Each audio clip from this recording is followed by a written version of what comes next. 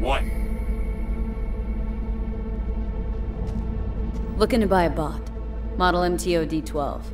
Looks like a spider. Couch planted. Yo, Kerr, Peek around the corner, see if we got anything like that.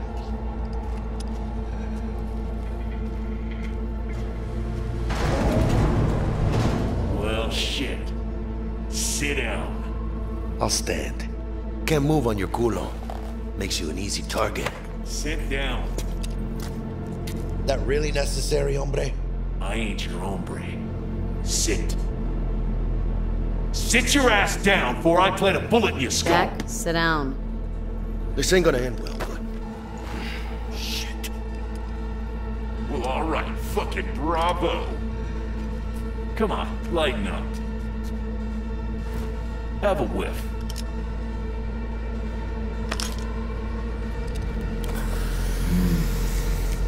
Better.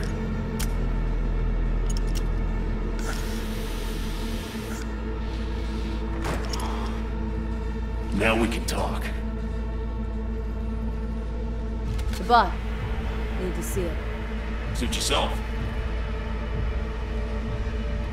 Fucking tricked out, state-of-the-art this thing. Don't even got no standard port. Bells and whistles though, dynamic camo armor and motor impulses rivaling that of the human nervous system. Its actuators are actually pimped with titanium fiber, and it can go anywhere, literally. Watch this. Fully integrated link too, so when the spider starts crawling up walls, dangling from ceilings, you could lose your lunch. So, what you think? Pay up and let's get the fuck out of here. The bot. I'll take it. Two questions. What the fuck's going on? And who the fuck is this?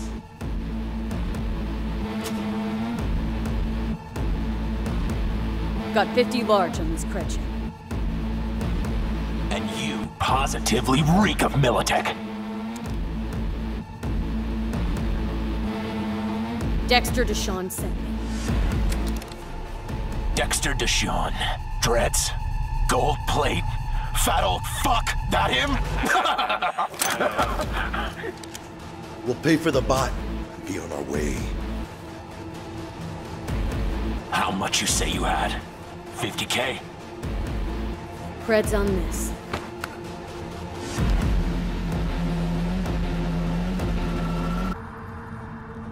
Move it.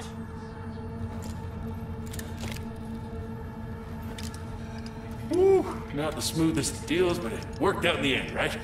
Flathead's good gear. It'll do the trick. Whatever that trick is. Shit. Shit, shit, shit!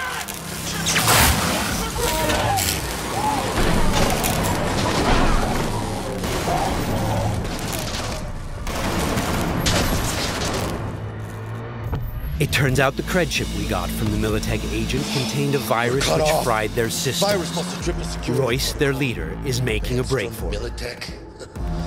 Had to end this way. Before we figure out a way to leave, let's grab the splinter that controls the bot from one of these dead maelstromers.